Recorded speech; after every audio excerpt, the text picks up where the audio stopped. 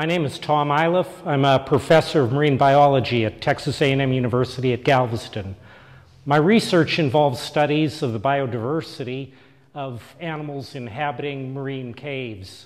Uh, although we're working in freshwater caves over here in the central part of the state of Yucatan and Yucatan Peninsula, most of the animals that inhabit these caves are marine relict forms. That is, their ancestors came from the ocean, originally colonized saltwater caves, and have adapted to fresh water. So we're looking at marine forms of life that are now living in freshwater caves. Uh, today we were out collecting and we've collected a number of really interesting animals that we're going to be doing some work on. Uh, we've got uh, six specimens of some blind cave fish uh, that are known only from here in the Yucatan Peninsula. Uh, we also have a very unusual and very rare cave eel that we're going to be doing some genetic studies of in order to look at the ancestors of these animals and to see where and when they specifically evolved and entered these cave systems.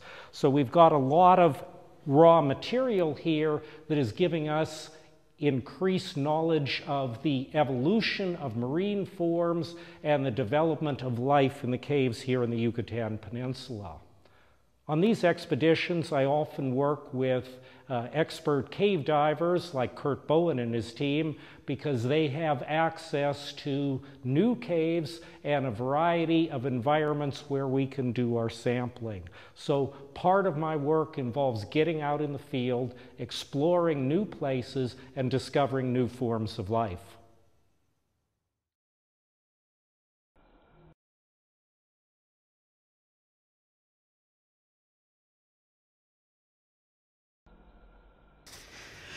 So, tell me again about the um, why the Maya, uh, the Mayan people placed these temples where they did. The uh, the Mayans would actually look for or find a, a water source, and same as what we're looking for, uh, uh, because they had to have it to survive. They would find the main water source and then they would build their temple beside that. Obviously, they didn't want to walk forever to find water, and, that, and a large civilization required huge amounts of water to sustain the main part of life that, that was here. Why are these steps so small? Uh, supposedly, according to theory, they made the steps uh, smaller so that when the, the people climbed the temple, they would really be like bowing to the gods or bowing to the, the priest. So they had to bend over basically to get up the temple steps. Right, just kind of like we are. So where is the cenote, the water source around here? Uh, I haven't been able to find it yet, but it's got to be really close. I mean, they were, they're not going to carry the water two miles to, to the temple, so, but the jungle's so thick, it's hard to find the water source sometimes. What would a room like this be used for? Well, it'd be the main entranceway, as far as I know. I'm not a Mayan there must be some, historian. aside from, from the fact that it's very interesting, there must be some more significant reasons for exploring ruins like this. I mean, you, have explored ruins and cenotes all over Yucatan. Why do that? I'm really morally, I'm more exploring the cenotes. The, the ruins just have to be in the way, pretty much, out in the jungle. These are not even excavated yet. There, there's two giant Mayan temples right over there that's got trees growing up on them. You can't even tell they're there. They look like a big rock mountain. And when you come to this kind of to exploring cenotes like this, um, you're pretty much you and your team are pretty much the only folks doing this, right? Yeah, we're the only team out here. And these cenotes have great historical and geological significance. Tell me about that. Well, they can, they're kind of like a time capsule where they contain the Mayans were here for thousands of years, and they, every day they went to the water. Every day they took their buckets to the water, their pots, their they did sacrifices in the water. The, the water, the underground, was a god to the Mayans. It, it sustained life, but it was also kind of eerie and spooky because it was dark and black, and so they had to go there every day to get their water. But they would also lose their pots and buckets and stuff down there. So now they've dropped their pot in, and it stayed there for thousand years until the explorer comes along and hopefully finds the pot. Although you don't remove the pot. No, we don't. We don't touch the pots. That, that goes to INAH, which is the Archaeological Department of Mexico. And over time, you've begun to create a map of cenotes all around in, the whole Yucatan Peninsula. Right, pretty much right now we're located in the central part of the Yucatan. Um, right here we're about 20 kilometers south of Chichen Itza, which is one of the famous Mayan settlements. Um, but obviously nobody's excavated much yet. Uh, we've explored, I would say, a couple hundred square kilometers of, of land.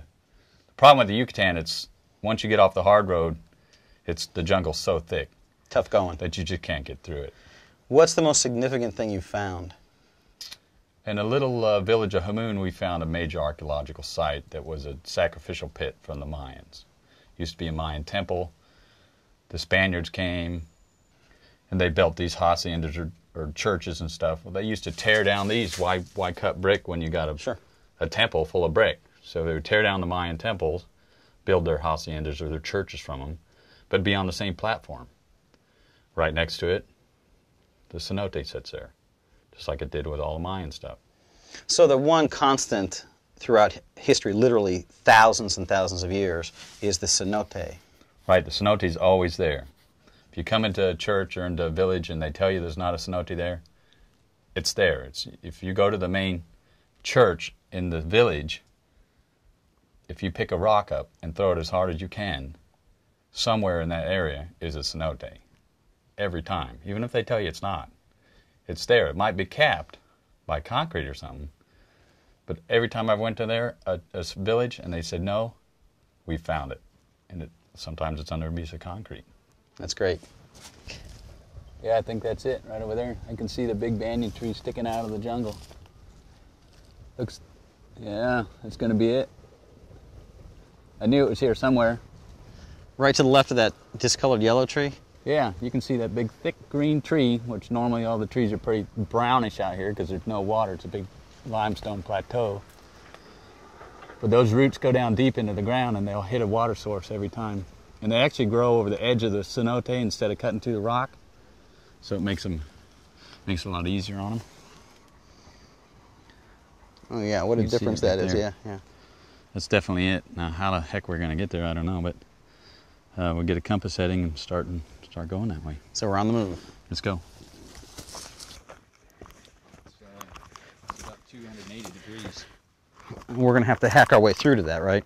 Well, hopefully, you know, maybe uh, the locals, you know, they always have little trails to, to water sources. Maybe we'll get lucky and find a little trail.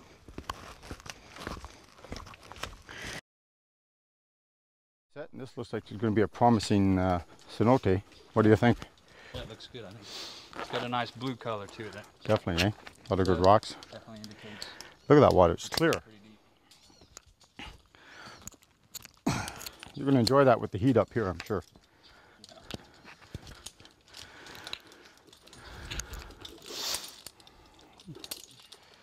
Beautiful rock formations, eh? That is nice. Vines going down, tree On roots rope. going in. On rope.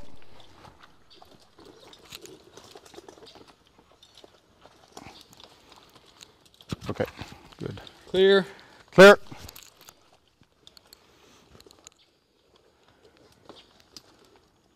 Looking pretty nice. Beautiful, beautiful. Look at that. Hey, uh, take a look over there. There's a little beehive. Actually, several of them. Something to be a little bit of a concern about there. Yeah, it looks like African bees maybe. Yeah, we'll keep the nest there in that wall. yeah. We'll just try to keep the voices down and Keep quiet way up here. see what we got here. I'm gonna take a quick look around and I'll call for my tanks if I need them. All right. It's an undercut that was over to the west here, so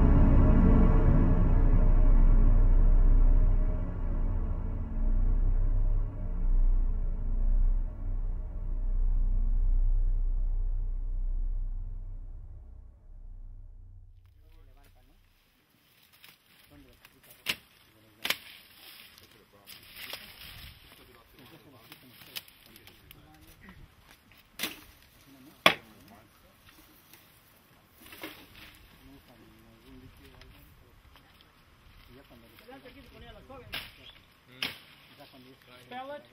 X. X-T-U-R. You need to, uh, uh, I'd go for